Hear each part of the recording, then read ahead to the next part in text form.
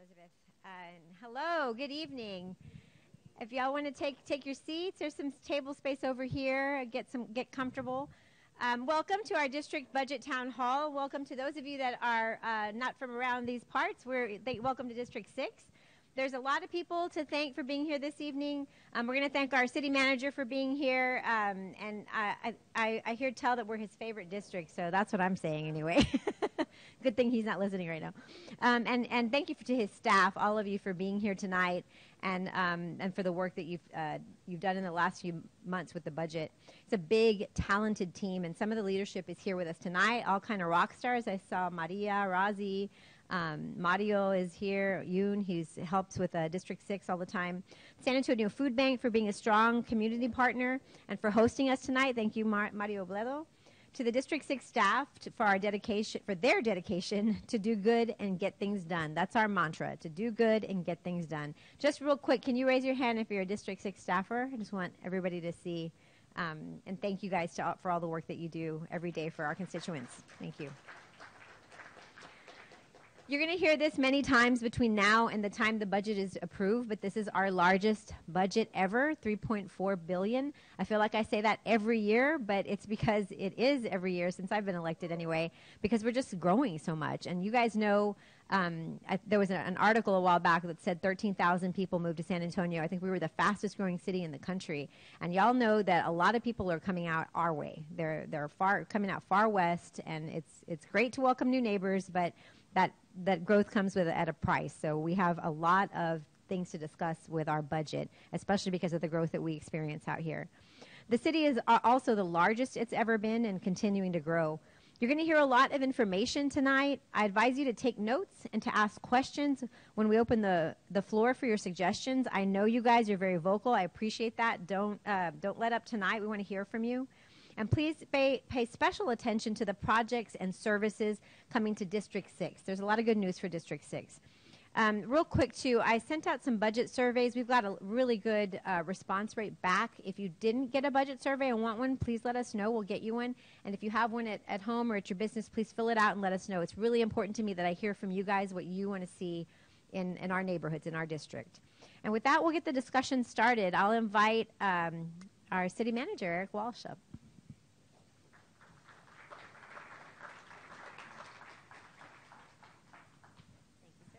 Thank you, Councilwoman.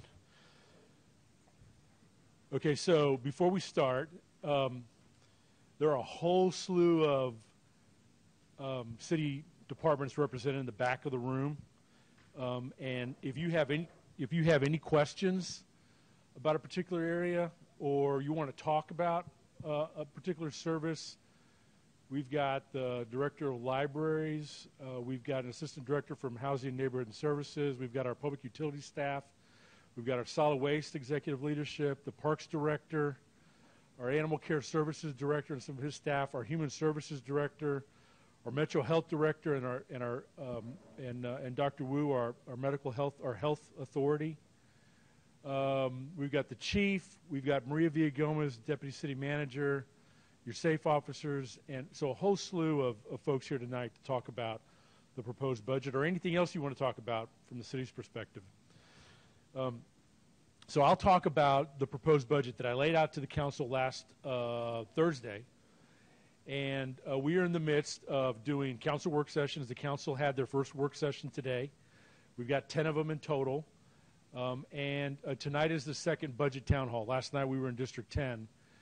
Um, we have two public, public hearings, and I'll show you the dates here at the end of the presentation. But, but over the next month, there's going to be a lot of public input um, and council conversation about the details in the budget. The council is scheduled to adopt the budget on September 15th, so a month from yesterday, and a whole lot other, a whole lot of work that needs to be needs to happen between now and then. Craig, uh, next slide, please. So um, we started our budget process early this year. The council had their goals and objectives work session in April. We typically do that in June, but it, we did it early this year in order to get feedback from the entire council, but also to do the budget town halls that we did at the beginning of summer. And I don't know if any of you were in this room when we did the town halls, um, but we wanted to be a little bit more intentional in terms of asking for input on the front end of the summer Uh, we'll share with you the survey results, but in terms of key themes in the proposed budget, um, it's built on the council priorities, and you'll see that here in a second, and mirrors pretty closely uh, what the count what the what the public um, said was a priority. And we'll show you the actual District Six results here in a couple of slides. The proposed budget uh, gives money back to residents, primarily in two different ways. One is um, a number of exemptions and changes the council made to our exemption structure in June, and they took that action early in June. Under state law, it has to be done by July 1 in order to be put into the budget. That was one of the benefits of the council talking early in the year. That way, they could take action in June. There's also an element uh, regarding the CPS revenue the city's received. So I'll talk about that here in a second. Um, important to all of you and important to me and probably a lot of other people in the room.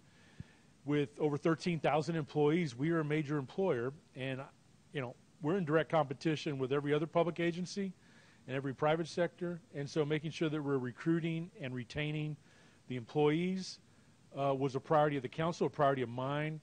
Um, unlike the private sector, I don't have the luxury of just saying, well, we're just going to do, we're going to consolidate uh, garbage routes or we're not going to answer 911 calls from 2 to 4 a.m.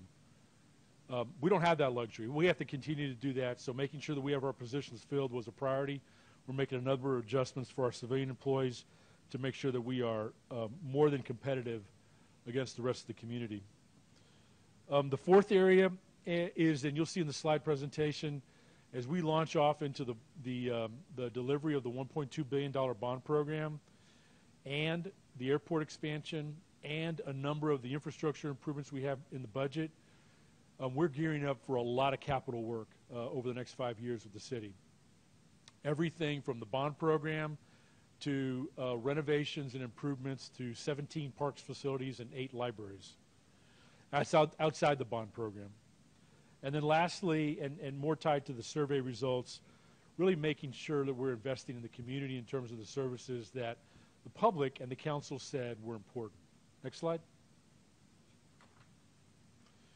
So here are the survey results, um, and that you have the citywide results and the District Six results, and and you'll notice right off the bat that there's a lot of common uh, there's a common theme there between what we saw citywide of the 11,100 responses we received and the actual District 6 responses.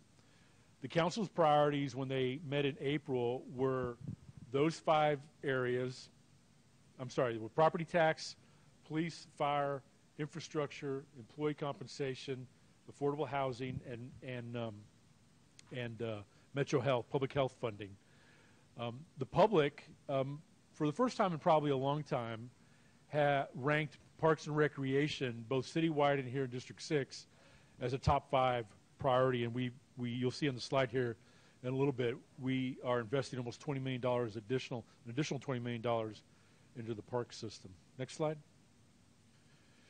So some of you who have come to these meetings before see that uh, have seen this slide in the past. This is our total budget, $3.4 billion. Um, it's made up of three main categories. Our general fund, which is where we collect sales tax and property tax. It's where we pay for our basic services such as code and library and police and fire. Our restricted funds, which are our business funds, the solid waste department, which you know funds its operations with the fees it charges, our airport, the hotel occupancy tax fund, um, and all of the grants we get from the federal and state government. And then our capital bro- program next year is $641 million. So there's an overview of the total budget. Next slide digging a little bit deeper because the general fund usually has all the focus and attention. It's where we collect again our general revenue, and you'll see that 60.7% uh, or a little over 900 million dollars in next year's budget of that 1.5 billion is in public safety, police and fire, uh, one of our core services, and something the council or the, the council, well, something that the public certainly expects, and the council. Um, and outside, you see where we get our money. Property tax represents 28.8% of our revenue into the general fund. Um, sales tax, 25.7%. and CPS 26%. So those are our big three revenue sources. Unlike a lot of other cities in this state um, that only have three main revenue sources, we have uh, a third revenue source, CPS, and it makes up a little over a quarter of our revenue. And I'll talk a lot about CPS here in a couple of slides. So, what did the council do in June? Well, the priority for the council in April when they met, because when they met, it happened to be right around the same time frame as we were all getting our appraisal notices from the appraisal district. Um, but one of the priorities of the council was to provide some level of property tax relief. And they asked us to come back and provide them a number of alternatives, which we did in May. In June, the council changed our exemption, our homestead exemption, from 0.1% of the va- taxable value of your home to 10%. They increased the disabled persons exemption from 12,500 to 85,000, and that hadn't changed in about 20 years. And we uh, and the council increased our over 65 exemption 85 to 85,000. Now we still have things like the senior tax freeze in place, um, and all told, the city in next year's budget is foregoing 90, 95 million dollars in property tax relief. Now, the changes the council took in June increased that 95 million by 22.5 million dollars. So the value of those three things was foregoing an additional 22.5 million dollars in next year's budget uh, in terms of property tax relief. Next slide. The fourth part of the strategy, in addition to the exemptions, was allowing, because state law requires that this property tax rate, um, uh, base value uh, adjustments can't be higher than 3.5%. So we knew that we were going to have to reduce the tax rate. But part of that was making sure that we left, that the, the, the council could have eaten up that capacity with exemptions. But they left that in place to allow the tax rate to go down in accordance with state law because that affected everybody uh, commercial, small business, homestead, apartments, uh, disabled, over 65. At the time, based on the values we were working with uh, with the council from the appraisal district in June, we were assuming the tax rate the tax rate was going to have to go down 1.3 cents. Based on the certified value, it, had, it needs to come down a little bit more, which is good for everybody, at 1.67 percent. The last time the, the city reduced the property tax rate was in 2016. A lot of what we're carrying in terms of, of new revenue is new improvements in the city. We saw about 1.9% increase in taxable value from new construction, new homes, new commercial properties, new improvements, and that's critical to a growing city. Next slide. So the, the second component which is um, um, abnormal for us, um, is, is what's happened to our CPS revenue in this fiscal year, 22, not fiscal year 23, but this year. And, and the council had a long three hour conversation about this this afternoon. Um, you know, we, we, um, we always bet uh, that we are two, three, maybe even 4% over revenue with CPS revenue. And if you look at the history of CPS revenue, it can be erratic. Um, it's not something that that uh, is necessarily always consistent because of changes in fuel prices that that that, that CPS has to buy, changes in weather patterns, um, and but but uh, and when we gave the council the trial budget uh, in um, May, we were assuming we were going to be $35 million over budget, primarily driven by natural gas prices that were going up because of other geopolitical issues happening in other parts of the of the world. Um, and you know, when we did that uh, in May, mid-May, with the council, um, I think what we all experienced during the summer was uh, a, a, a, a, very hot summer, not a typical San Antonio summer. Um, and so demand was up, gas prices were up, and that, that, that number kept creeping up every week for us. And, um, you know, I, uh, um, I've lived in the same home for 20 years. I, my CPS bill in June and July were the highest they'd ever been. And you can repeat that story across the board. I mean, I think everybody felt that. Um, and, and, you know, a lot of that was fuel prices that CPS was having to pay. that gets passed along to the ratepayers, a lot of it was demand. Um, and so, um, what I proposed to the council, and the council is going to have one more work session because we're still working through this issue. But given the fact that as the owner of CPS, San Antonio owns CPS, we collect 14% of their revenue. If CPS was a private company, we'd be we'd be paying they'd, we'd be charging them property tax for the use of right of way for every transmission line and every power plant. Um, and when City purchased um, CPS 70 some odd years ago, that was an investment, and it's given us a good solid revenue base. But um, our revenue projections are 21% over what we budgeted this year, which does not happen. As long as I've been with the city, it's never happened. The amount of money we received from CPS in June and July this year were the highest amounts we've ever received in the 70 some odd years we've owned CPS. So, just like my utility bill to CPS was the highest ever in June and July, the money the city made was the highest it ever received. So, understanding that there's a balance that needs to be uh, struck here, and recognizing that, at least in my mind, that there was um, extraordinarily high utility bills, um, and the city experienced extraordinarily high revenue that was not anticipated. Um, I recommended to the council that we credit back to all CPS customers $50 million of the 75, and I'll talk about where the other 25 is in the proposed budget in a second. The idea is that it's based on what you what energy you used in July. It comes out to about 13.3% of your July bill would get credited on your October bill. Um, this is not going to pay off any outstanding balances. This is not going to pay anybody's full utility bill. This is the city, as the owner, recognizing the situation that we've all been in and doing our part um, as the owner.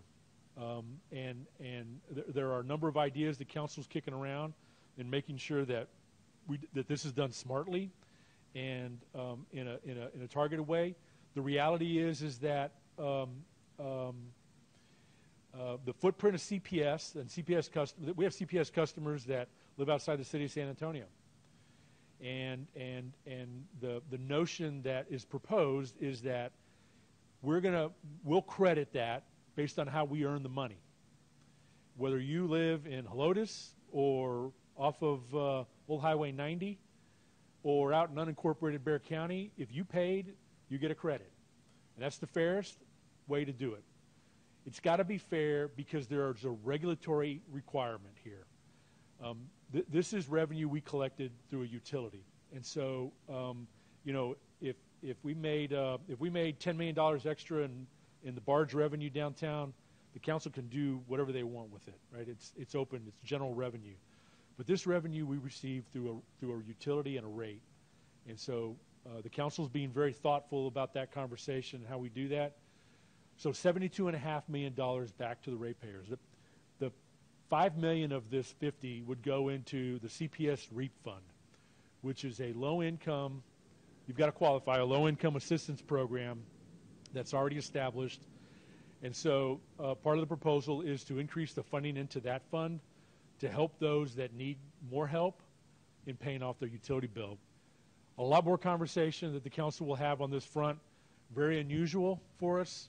Um, and, and as the council uh, talked uh, last week and this week, something that we obviously need to have a policy in place for.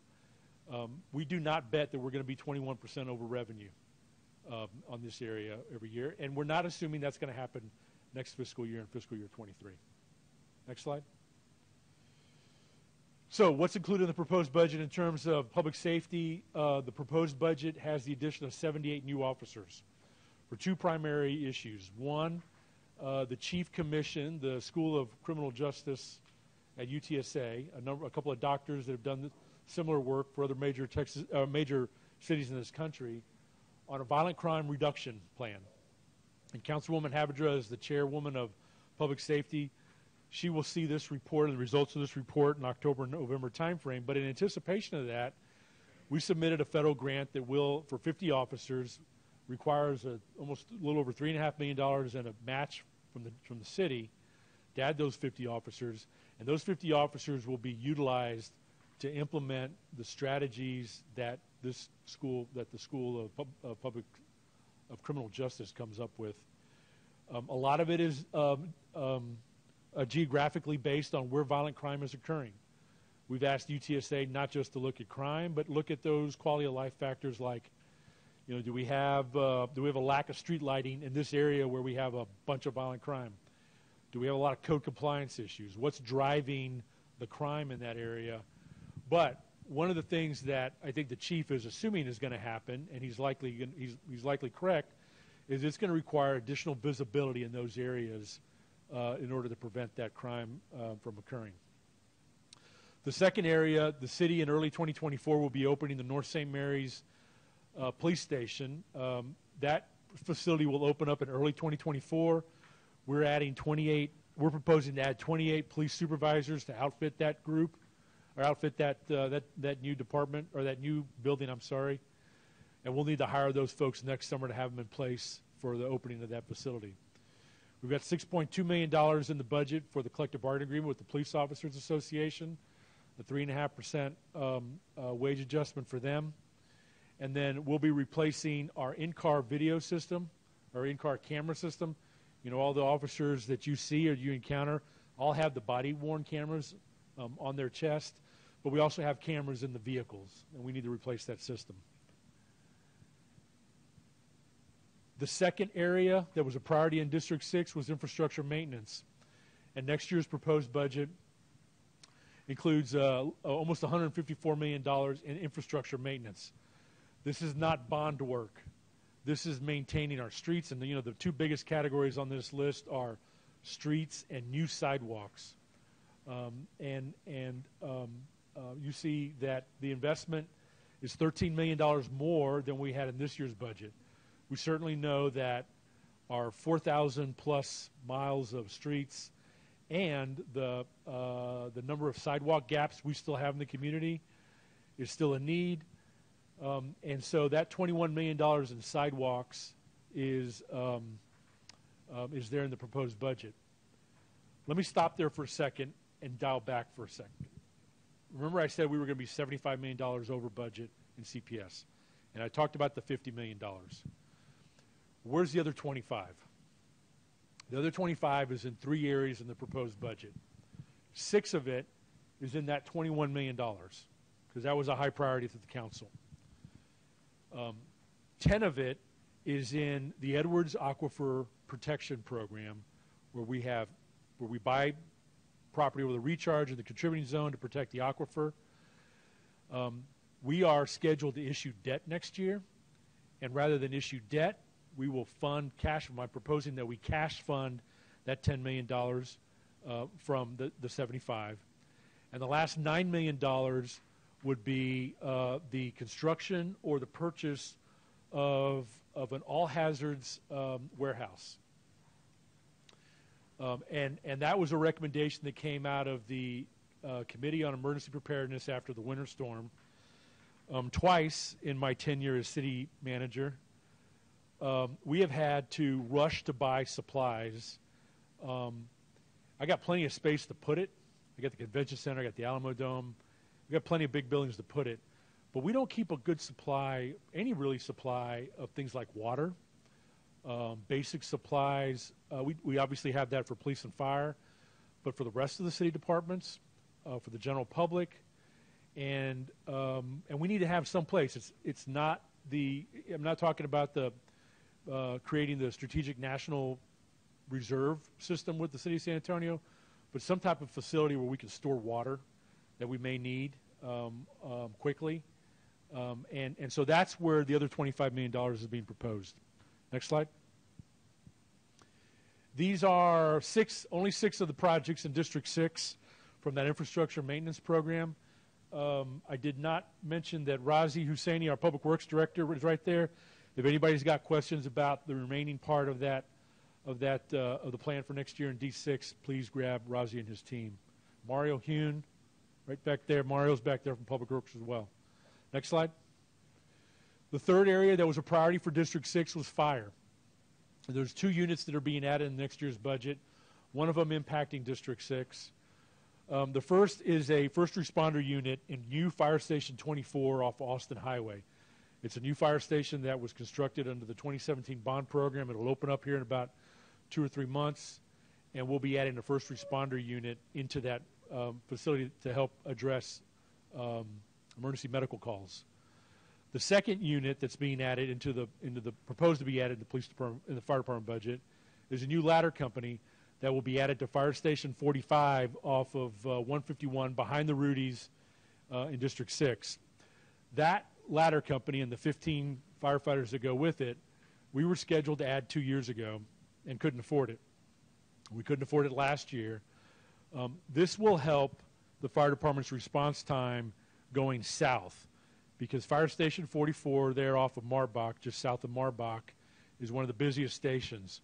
The ladder company, in addition to the with the engine company at 45, gives the fire department additional equipment and staffing to be able to handle one of the busiest areas in San Antonio.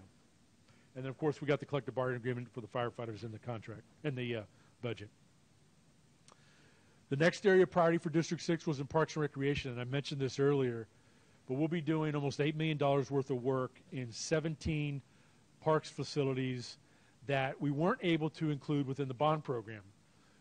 We did a significant amount of work last year to prepare for the bond conversation, but we have a whole slew of old facilities that need work. Um, and when we started the bond conversation with the council a year ago, we knew we needed, we knew our number was 1.2 billion. The, the number we started with was 3.3 billion. So obviously we can't do everything, um, but there are a number of facilities in the Parks Department, community centers, restrooms that need work, that need to be repaired. They're primarily our older facilities, and we're programming that into next year's budget. I mentioned the $10 million in the Edwards Aquifer Protection Program, a million and a half dollars primarily for new acreage that's coming online, two and a half, million, two and a half miles of new trails that are coming online, and then we'll be opening up a District 4 uh, community um, parks facility. That's a bond program in 2017 and a new facility at Woodlawn uh, Park, that uh, Woodlawn Lake, that uh, that's uh, coming online later on this year. Next slide. So our public health plan, um, which was a priority of the council's, last year the council approved a five-year strategic plan to help to, to invest more in public health.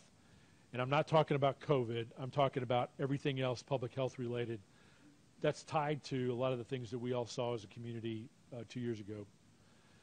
Um, it's things like violence prevention. It's things like access to care. It's things like mental health. Um, and those aspects, and part of the plan over five years was to, we, we had a whole slew of federal and state dollars that, that both, both forms of government were pushing down. But was really, the idea is over five years to improve, to increase our local spending. Um, and and and the health director Claude Jacob is there in the back of the room. The idea is to continue to do work out in the community, um, and and public health is not, you know, the, the mental health has two clinics: the STD clinic and the immunization clinic. Right? We we do not do medical care, but what we do do is work closely with UHS, the public hospital system, to make sure folks have access to care, are living healthy lives I can tell you that Metro Health is one of the common threads that runs through a lot of our departments.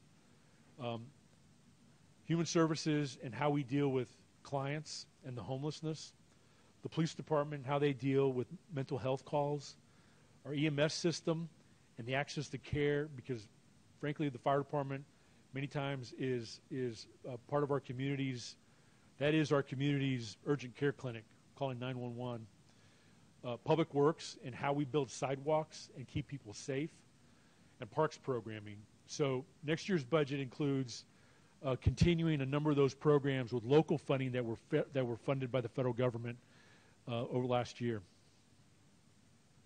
Next slide. Affordable housing, another priority of the council. In next year's budget, we have a total of $136 million for affordable housing. 99 million of that is coming from, from the housing um, the affordable housing bonds that were approved by the voters in May. Uh, the voters approved $150 million um, in that program, and we are moving out, uh, actually this Friday, with solicitations for $99 million. It's rehab of multi, uh, multifamily units. It's new multifamily units. It's also new single family. And so the idea is that the city will solicit for responses from both nonprofit, nonprofits and the private sector to partner on housing projects and leverage this money for more, um, the, uh, more of an investment. The council approved a strategic housing implementation plan last fall that is really guiding, that should guide, and it's our 10 year plan that we'll check annually because things change. But the idea is that over 10 years, we need to add over 28,000 affordable housing units to San Antonio. Next year, our target with $136 million is 2,500 units. Um, if you look going forward over the next five years, between the housing bond, what we have in our general fund, and what we have in our CDBG and home fund, our federal funds, we're anticipating spending over $300 million over the next five years. And that does not include what we hope to leverage in terms of uh, the, pro- the, the nonprofit sector and the private sector through these solicitations. So um, obviously, we are moving quickly on this part of the bond program because time is money here, and the sooner we can get to production, the better that we think we can have an impact on affordable housing here in the community. Next slide. The library system uh, will be doing renovations to eight libraries that were not able to be included in the bond program. Um, much needed. Uh, uh, we also have an additional million and a half dollars for our library materials budget. Uh, Ramiro, the library director, uh, before COVID, uh, established a five year plan to increase our library materials budget. Um, he did an analysis of how we stack up against other public uh, library systems, and, and we weren't investing enough. And, and that's important, and Ramiro can say it better than I can. That's important to keep our inventory fresh, to make sure that we are um, buying the things that the public want to see in the library system, um, and making sure we have the resources to do that. We weren't able. We, we started. We started to make improvements. COVID hit. We held everything. With next year's proposed budget, we're going to accelerate it and get to the end goal, which will get us to the median of where other large public uh, library systems are at. So we'll have a total of $6.7 million in next year's budget. That's important to make sure that our libraries are fresh. And Ramiro will tell you that um, th- during COVID, the, the library use changed. There was a lot of uh, um, uh, drive-in, drop-off type of traffic, but that traffic is, has returned back to the library system, and we need to make sure that we've got fresh material there for the public. Next slide. Our human services budget um, has an additional almost four million dollars, um, and and um, I'll talk about the first two really because during during the pandemic, um, we using federal funds started adding homeless outreach individuals, not only for the city, but we started partnering a little closer with our uh, homeless nonprofits. Um, and, um, and we also established a hotline for the homeless or those that were within a hair's inch of becoming homeless because of, of a housing issue. And, and it's been successful. Um, we have a tremendous homeless issue in San Antonio.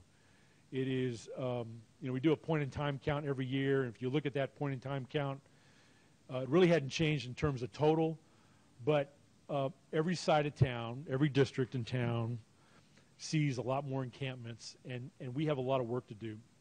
Um, the police department can't arrest them if they're not breaking the law. Um, and so making sure that we've got the outreach folks that are establishing a relationship with these individuals – offering services, driving them to services is, is critical, and we need to keep that up, in, at least my estimation. So I'm recommending in the proposed budget that we take on that federal funding ends in September, and we take that on and continue that in next year's proposed budget. The second item on there is um, who's going to spell me? I'm just kidding. So um, the second item on there is um, something we use with we use federal funds with to um, lease a small hotel on the northeast side of downtown. Only about 45 or 48 rooms, a low barrier shelter that SAMMinistries is managing for us, complete wraparound services. And it's hugely expensive. Federal funding runs out for that program in September 2. And it's hugely expensive. I'm only recommending that we extend that for another six months. Primarily because Sam Ministries, our, our contracting partner, is opening up their own low barrier shelter early next year, and they don't have the capacity to do both. And, and this is probably requires a longer term conversation with the council. It's also one of the reasons why we are accelerating the housing bonds because the need for a low barrier shelter is there in San Antonio. It's here. But um, that means that, there's got to be somebody to provide that mental health, that health care, that social service wraparound, and that is hugely expensive. Um, and and um, we're only I'm only recommending we extend that for six months, and we figure out early uh, this fall, kind of what the plan is with our partners going on going forward. Again, it's not a very large hotel. There's only 45 or 48 rooms. Next slide. This is our capital budget, the $641 $41 million. You see around the middle, the chart, where we're spending, where we're proposing to spend the money next year in terms of capital dollars and infrastructure improvement. The majority of that is in streets um, and um, our affordable housing bond under neighborhoods.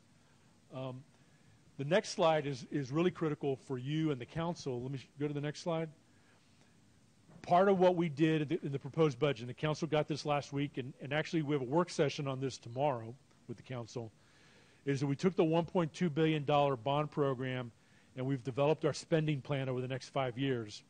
These are all the District 6 projects that were in the bond program and the associated spend and how we're going to spend. A lot of what we spend in the first two years is design, and then we get construction heavy in years three, four, and five. Um, part of what the council will do um, in early fall is select all the engineers, landscape architects, and architects for all 183 capital projects. And so that is, that is something that, that the, we do all at once so that we can start the design and architect services on all 183 projects. So that's why you see uh, those lower dollar amounts in 23 and 24 and then escalating um, in, um, in, the, in the remaining years. Next slide. So um, tomorrow we have a budget work session with the council on public works, on parks and rec, our capital budget, and our debt management plan. Just how we how we pay uh, for capital management for capital projects. Um, we meet. The council will be meeting every Tuesday and Wednesday at two o'clock. You can watch it on TVSA or watch it online or come downtown. We have free parking. Um, uh, we've got a schedule that here in the back of the room of what when departments will be coming before council. Next Tuesday it'll be police, fire, and municipal court. Um, so we're going to be doing that between now and September 14th. We're doing the, this. We're doing the town halls tonight is the second one. We're doing them in every district. We've got two public hearings downtown on September 31st or October. I'm sorry, August 31st and September 8th and the council scheduled to make any necessary amendments that they see fit and then adopt the budget on September 15th. Next slide. So uh, you can use that uh, scan code or at the back of the room to give us your comments tonight. Um, we're going to be categorizing or we're going to be collecting all that from each of these meetings and then preparing a report and sharing it with the uh, with the entire council. So. We have a lot of people here from the city, so more than willing to a- answer any questions you might have. Um, and Councilwoman, I'll turn it back over to you, or if you want to just go straight into questions. Okay. Questions? Now, um, so we have people listening online. So Laura is going to bring you the mic so the folks online can hear the question. Go ahead, sir. Uh, yes, excuse me. Um, just wanted to find out uh, like for streets, as an example, you have a, a big budget there compared to the others. Uh, how does the city determine which streets? Have they already done an analysis, or, or are they waiting for community input to determine which streets need that maintenance or capital improvement? So uh, either Razi or Mario, why don't you guys answer that question? Because we have a five-year IMP pro- infrastructure program that, that identifies those. Yeah, good question. We usually survey, we have information on all of the roadway we have. As city manager mentioned, we have 4,200 mile of the roadway. We have survey condition of every roadway. We categorize those A, B, C, and D, and F. A is the almost brand new street, and F is the ones we call failed street. We look for those streets in bad shape. We work on those streets first. We have five years program, and we work with the council's office, make sure they know what we are planning to do. Based on budget, we schedule those two projects. In last few years, in order to make sure those council district doesn't have a good uh, condition of the payment, we put more money on those. Many years ago, we used to divide the money funding by 10 because we have 10 council districts. No longer we do that one. Any council district does not have a, a good roadway or has more roadway to maintain, they get more money, and this is the way really we decide on those projects. Yes, sir. Thank you.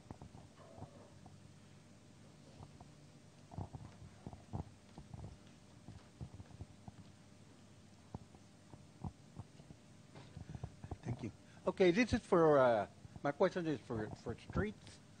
Uh, last time that we have a meeting, I brought it up to your attention that uh, the uh, old Highway 90, Enrique Barrera Parkway, uh, is, is totally unserviceable and don't comply with the uh, ADA qualifications. Uh, here in the west side, they build telephone poles. I mean, they build sidewalks for telephone poles, and they also build the sidewalks to hold the ground that's above that sidewalk. That is not right. So uh, I'm bringing it to your attention again, and maybe I can get an answer now and get a solution for it. Yeah, part of Old 90 we have already built. And the good news is the other part, we have funding from MPO, federal government, and we have matching fund through this budget process. Shortly after budget pass, we are going to select consulting. Council approving in uh, November of this year, we will come to the community, get input on what this roadway should like, and start designing and building shortly after. And, Razi, and I think his question is specifically about the sidewalk portion. That we have funding through the federal government and through our local budget to be able to address not only the street portion, but the sidewalk portion. If, if you're going to build a sidewalk, why don't you build it right at the first time? Because I'm not talking just strictly uh, Old Highway 90. I'm talking about the streets uh, east of uh, 34th Street. And uh, I mean, these are streets and sidewalks that are built uh, for people, pedestrians, to walk and also to use their wheelchairs. And if you have them in an angle, uh, even I, when I'm walking to the store, I, I start walking and then all of a sudden I start going towards the street. And I've seen a lot of that. So why don't we build it right in the first time? You have inspectors that go out and check and uh, also uh, appear on Highway 90. Uh, the uh, sidewalks are in an angle uh, based on the uh, entrance. Now, my neighbors up there on, on 34th Street, they built a small portion of a sidewalk, which is, was probably about uh, well, 20 or 30 yards. And he had to tear down the entrance and make it flat according to uh, the, uh, the the level sidewalk. Why can we do that when we get a contractor? When we build the sidewalk during the design and after we build, we have to make sure we get state to inspection to meet, meet the ADA requirement. And good news is, for part of this bu- budget, we have $21 million for sidewalk. We never had that kind of money for the sidewalk. Sometimes sidewalk get damaged for whatever reason, tree root or build wrong. We also have a funding to address some of those damaged sidewalk. I have a staff here, we can take those address and investigate. If we have to redo those sidewalk, we will do it. Now, the, the, the, gave you the good news. The bad news is, is that what you're describing exists in a lot of parts of the city that have uh, either been built 30, 40, 50, 20, 10 years ago, um, and, and it's going to take a lot of money, a lot more than $21 million. What we can do, though, with the money we have, and when we do a street, we redo a street, is make sure that we're not doing uh, numbskull things like making having the pole right in the middle of the sidewalk. But we have a lot of areas of town that you just described, just not over here uh, off of Old Highway 90. And and and to be honest with you, it's going to take a long time to fix those things. Um, but we but we got to start somewhere. Within the last year, the last, we're not talking about 15, 20 years ago. This happened last year. Yeah, that, that's why those guys are going to look into it. But I'm talking, but, but we have that issue in a lot of parts of the city, a lot of parts. Yes, yes, ma'am. Oh, wait, wait for the, We got this gentleman. There was somebody up here, right? Was a gentleman Raise your here, hands really high so I can see them. and then her. Thank you. Yeah, you spoke, uh, Mr. Walsh, about CPS and the uh, revenues that go to the city. Uh, SAWS has a $32 million payment this year to the city going to the general fund. Can you explain the, the, the backstory on that? I know originally it was a bond issue, 1992, but is that still currently the case? So um, SAWS, another municipal agency, and the council appoints their board, um, pays the city 4% of their revenue. Um, and that revenue is pretty consistent. Um, and um, they too, if they were a private water purveyor, would be paying property taxes for the use of the right of way. We do not have in this year's budget or next year's budget any huge spike in revenue like we're seeing right now with CPS. Yeah. So we own it, but still we overpay so we can then pay the city. It sounds like a tax. That's just functionally. We own it, but yet still there's excess revenue that goes to the city. It's- so they're collecting it to give it to the city. Right, but, but if they were the private sector, they'd be charging you what, what the property tax is, we'd be charging them. So it kind of works out the same. You do that, sir, not me. Uh, this gentleman and then this young, this woman right here. Tom Easy. Is this briefing online, particularly with the District 6 information, so we can go ahead and share it for all those that were not here tonight and available? Yes, sir, as well as the longer presentation I gave council last Thursday. And for those who need the website, sanantonio.gov slash budget. My question is Public Works, probably. Uh, my issue it has been for a while. I go to different neighborhoods in the area of San Antonio, but yet here where we live on District 6, and I live right here across from the Wolff Stadium. We have Public Works, right, or Parks and Recreation. We have other city entities right in here in that area on Callaghan. But when I drive down, going to the school, going towards, going to Las Palmas Shopping Center, going on Castroville by the cemetery, as soon as I get out of my home and I go towards uh, going like towards the highway on 90, uh, you look to my right and all I see like a dump. Uh, my area is like a dumpster. No, the city doesn't ever go by there to clean. I, I can call. I tell them, can you come out here and check because uh, uh, there's trash. The other day we even have a boat out there, a boat. Uh, and then when I, we went to Las Palmas HEB on the way on the way back, well, on the way out, my husband says, "Look, there's a boat. Are Somebody." you talking about from the, from the HEB to the, to 90? Okay, yeah. If that you know, if you know where Wolff Stadium is Yep. at, okay. So I'm right here on Herbert, Herbert and Castroville Road, right before you hit Porter's. Okay. Uh, Porter's, the place that poultry. Okay, and that area always looks like a dump.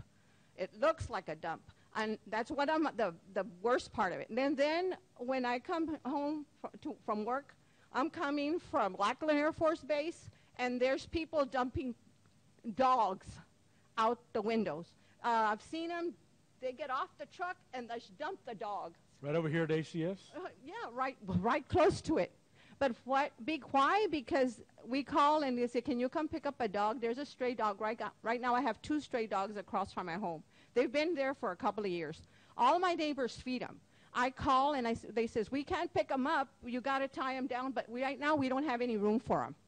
So we have dogs, we have stray cats, we have everything, and I see them. Uh, But I'm driving. I can't take a driver's license. Okay, Right. I can't take the driver's license, the plaque, whatever. So there they go, and the poor dogs kept running behind them, behind them. The dogs going, you know, and they just dump it. And there, and and this is not is doesn't it hasn't happened once. It hasn't happened twice, several times. And one time I even said I even saw this young man get out of the car and get in the middle of the high, like on the access road after the dog. Hmm. After the dog, because I guess he felt like he's one of those dog lovers. I figured he was one of those because he ran after the dog bef- before the, guy, the dog got into the highway. And that's mainly, that's mainly why I'm here, because I've already called and I think I spoke to my councilwoman, and if she's here, she knows who I am. We one day I went out to the food bank, and that's when I mentioned it. I said my area looks like a dump. Now, when you get out of here, and if you go down Callaghan and get on the highway, you'll see it. There's trash everywhere, uh, and that's going like towards the base, okay? And and the airplanes go by there. And one time when uh, Air Force One, they said, oh, they were going to clean because they don't want them to see all this trash. And I said, well, they come out here every time, and the trash is all there. Uh, there's wreckers parked underneath that bridge right here uh, on on Acme. It's Acme and Castroville. There's wreckers parked there. There's sometimes there's city personnel there. Why don't they just pick up the trash? There's tires. There's uh, trash bags full of junk, and and they're there. Yeah. So, um, the Director of Animal Care Services and of Solid Waste are behind you. I'll ask both those gentlemen to talk to you, but primarily, especially the boat and the trash along that stretch so that we can respond to that. Up here, Laura.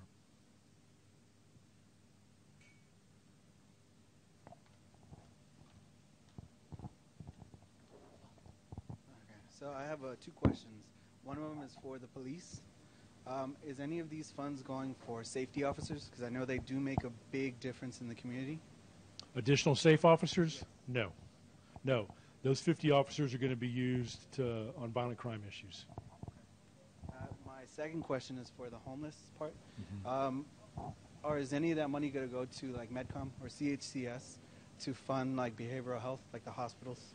So, Mel, do you want to talk about that? We have some money going to CHCS, the Center for Healthcare Services, the Mental Health Authority. Um, none of this money, but we do fund a portion of what they do. That's right. Uh, it's a good question. Uh, none of the new money will go to CHCS, but we do fund an integrated treatment program in Haven for Hope that provides 90 to 180 days of inpatient treatment. Once a client gets out of detox, they go there in order to stabilize. Um, we also fund the Center for Healthcare Services to do a sobering program so that police, instead of taking them to jail and for the emergency room and sitting with them, can drop them off to sober up at this um, location.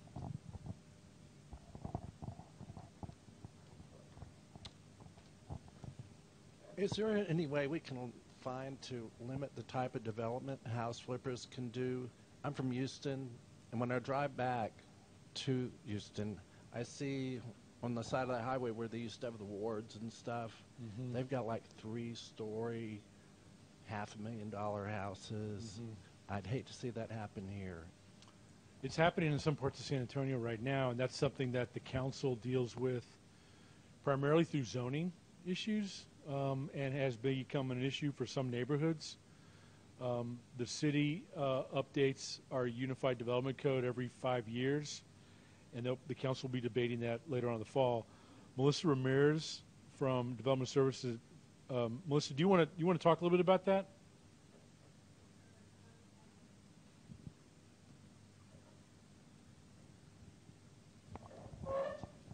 as development comes into the city of San Antonio, we have uh, development standards that they have to comply with. The Unified Development Code that Erik mentioned, there's um, trade regulations that they have to comply with, electrical, mechanical. The land use discussion is the one that you were pointing out for zoning. Uh, so we currently have zoning in place today, but if a developer wants to come in and rezone a property, there's a public process for that. It'll help us identify whether it's going to be residential, commercial, or multifamily. That is a difficult conversation Uh, because this is a property right state. So we don't have the ability to go in and purchase all the property that's vacant in the city of San Antonio.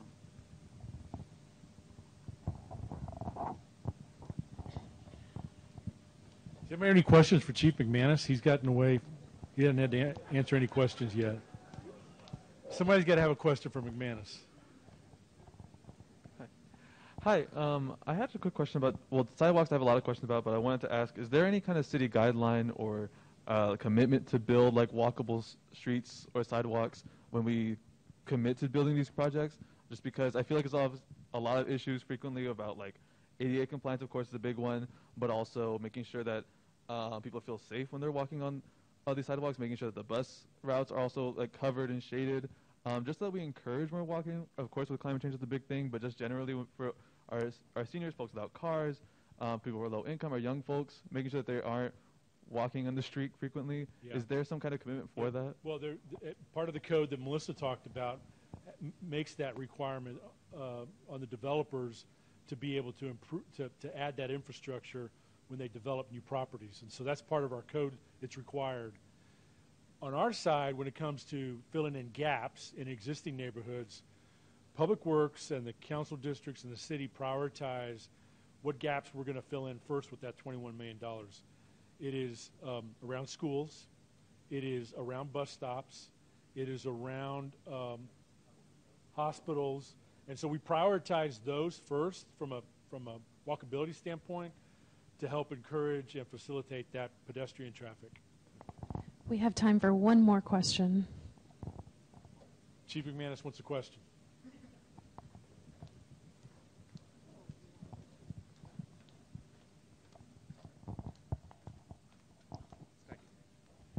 Hello, uh, uh, Erik. Um, I just want to say that I think you and your staff, your leaders, your department heads are doing a great job. It starts with listening with those two years and taking the calls or the emails and answering them back. I, I really do appreciate all your departments. And I love Little Homer. Well, thank you very much. Thank you. Oh, she had a question for Chief McManus. We gotta we gotta let her go. She can be the last one. Sorry. Come up here, Um, Chief.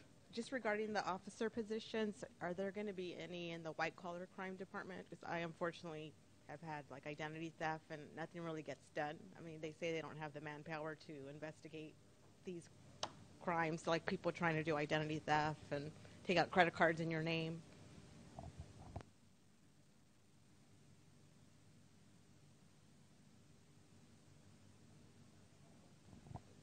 I got it. Do you have a name of the person who told you they didn't have the staffing?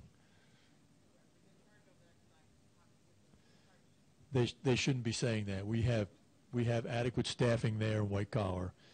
Uh, I will tell you that they're not overworked. Uh, so if you have an issue or trouble getting um, a, a proper response, the, the, the response that you feel is proper, uh, let me give you my phone number. And if anybody else wants to copy this down, please do. It's 207 7360 207 7360.